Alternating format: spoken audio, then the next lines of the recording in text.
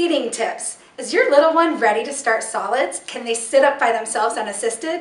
Is their neck strong enough to hold up their head? Then they might be ready for solids and you need to be ready too. Some ways you can be prepared are having things like Bazzle Baby's little bowl set that has a little suction thing on the bottom. It is gonna help your little one from throwing the bowl across the room. Plus it comes with a little cover so if they don't finish their meal you can refrigerate it.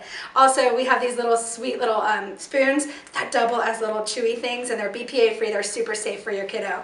Lastly, I love this. I'm obsessed with this because it catches all the dangly things. So if you don't have pets that eat the little crumbs off the floor, get this and it'll save the food that drops everywhere. You're going to have a cleaner, happier baby who enjoys eating their solids. Good luck. Take lots of pictures, please.